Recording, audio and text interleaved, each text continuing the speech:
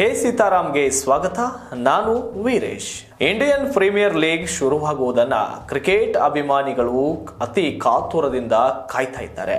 ಅಷ್ಟಕ್ಕೂ I P L ಇತಿಹಾಸದಲ್ಲಿ ಹದಿನಾರನೇ ಆವೃತ್ತಿ ಕಳೆದರೂ ಕೂಡ ಟ್ರೋಫಿ ಗೆಲ್ಲದ ಆರ್ ಸಿ ಬಿ ತಂಡ ಎರಡ್ ಸಾವಿರದ ಇಪ್ಪತ್ನಾಲ್ಕರ ಟೂರ್ನಿಯಲ್ಲಿ ಆದರೂ ಚಾಂಪಿಯನ್ ಟ್ರೋಫಿ ಗೆಲ್ಲುವಂತೆ ಬೆಂಬಲಿಸಿ ಎಂದು ಆರ್ ಸಿ ಬಿ ಅಭಿಮಾನಿಯೊಬ್ಬರು ಚೆನ್ನೈ ಸೂಪರ್ ಕಿಂಗ್ಸ್ ತಂಡದ ನಾಯಕ ಎಂ ಎಸ್ ಧೋನಿ ಅವರ ಬಳಿ ಬೇಡಿಕೆಯೊಂದನ್ನು ಇಟ್ಟಿದ್ದಾರೆ.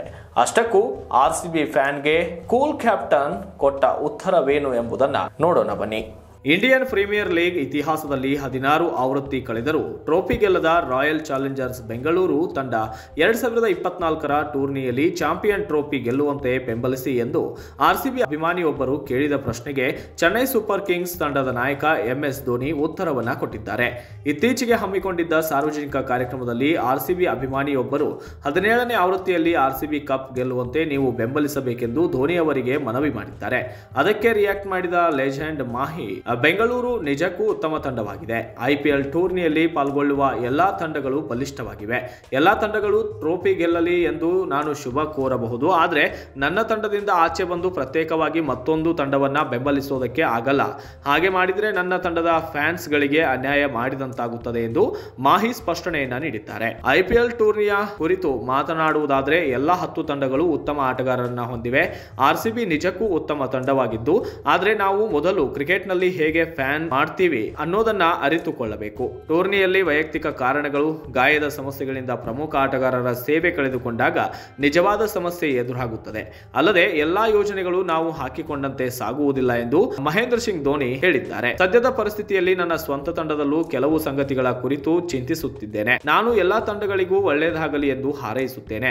ಅದಕ್ಕಿಂತ ಹೆಚ್ಚಿನದನ್ನ ಏನು ಮಾಡಲು ನನ್ನಿಂದ ಸಾಧ್ಯವಿಲ್ಲ. ಬೇರೆ ತಂಡಗಳಿಗೆ ನೆರವು ನೀಡಲು ಹೋದ್ರೆ ಸಿಎಸ್ಕೆ ಅಭಿಮಾನಿಗಳಿಗೆ ಏನನ್ನಿಸುತ್ತೆ ಅನ್ನೋದನ್ನ ಯೋಚಿಸಿ ಎಂದು ತಿಳಿಸಿದ್ದಾರೆ. ಇನ್ನು ಎರಡ್ ಸಾವಿರದ ಇಪ್ಪತ್ನಾಲ್ಕರ ಐಪಿಎಲ್ ಟೂರ್ನಿಗಾಗಿ ದುಬೈನಲ್ಲಿ ನಡೆದ ಮಿನಿ ಹರಾಜಿನಲ್ಲಿ ಸಿಎಸ್ಕೆ ಫ್ರಾಂಚೈಸಿ ರಚಿನ್ ರವೀಂದ್ರ ಒಂದು ಪಾಯಿಂಟ್ ಎಂಟು ಸೊನ್ನೆ ಕೋಟಿ ರೂಪಾಯಿಗೆ ಹರಾಜಾದರೆ ಶಾರ್ದುಲ್ ಠಾಕೂರ್ ನಾಲ್ಕು ಕೋಟಿ ರೂಪಾಯಿ ಮತ್ತು ಡೆರಿಲ್ ಮಿಚೆಲ್ ಹದಿನಾಲ್ಕು ಕೋಟಿ, ಸಮೀರ್ ರಿಜ್ವಿ ಎಂಟು ಪಾಯಿಂಟ್ ನಾಲ್ಕು ಸೊನ್ನೆ ಕೋಟಿ, ಮುಸ್ತಾಫಿಜರ್ ಎರಡು ಕೋಟಿ, ಅವಿನಾಶ್ ರಾವ್ ಅರವೆಲ್ಲಿ ಇಪ್ಪತ್ತು ಲಕ್ಷ ರೂಪಾಯಿ ಸೇರಿದಂತೆ ಆರು ಆಟಗಾರರನ್ನ ಖರೀದಿಸಿತು. ಈ ಎರಡು ಸಾವಿರದ ಇಪ್ಪತ್ಮೂರರ ಐಪಿಎಲ್ ಟೂರ್ನಿಯ ಫೈನಲ್ ಪಂದ್ಯದಲ್ಲಿ ಮೊದಲು ಬ್ಯಾಟಿಂಗ್ ಮಾಡಿದ್ದ ಗುಜರಾತ್ ಟೈಟನ್ಸ್ ತಂಡ ಇಪ್ಪತ್ತು ಓವರ್ಗಳಲ್ಲಿ ಇನ್ನೂರ ಹದಿನಾಲ್ಕು ರನ್ ಬಾರಿಸಿತ್ತು. ಆದರೆ ಮಳೆ ಅಡ್ಡಿ ಉಂಟು ಮಾಡಿದ್ದರಿಂದ ಸಿಎಸ್ಕೆಗೆ ಹದಿನೈದು ಓವರ್ಗಳಲ್ಲಿ ನೂರ ಎಪ್ಪತ್ತೊಂದು ರನ್ಗಳ ಗುರಿ ನೀಡಲಾಯಿತು. ಆರಂಭದಿಂದಲೇ ಸ್ಫೋಟಕ ಇನಿಂಗ್ಸ್ ಶುರು ಮಾಡಿದ ಸಿಎಸ್ಕೆ ಐದು ವಿಕೆಟ್ಗಳ ಗೆಲುವು ಸಾಧಿಸಿ ಐದು ಬಾರಿ ಟ್ರೋಫಿ ಗೆದ್ದ ಸಾಧನೆ ಮಾಡಿತು. ಐಪಿಎಲ್ನಲ್ಲಿ ಮುಂಬೈ ಇಂಡಿಯನ್ಸ್ ಮತ್ತು ಸಿಎಸ್ಕೆ ಐದು ಬಾರಿ ಟ್ರೋಫಿ ಗೆದ್ದ ಸಾಧನೆಗೆ ಪಾತ್ರರವಾಗಿವೆ ಇದಾಗಿತ್ತು ಈ ಹೊತ್ತಿನ ವಿಶೇಷ. ಹೇ ಸೀತಾರಾಮ್, ಇದು ಸತ್ಯದ ಕೈಗನ್ನಡಿ.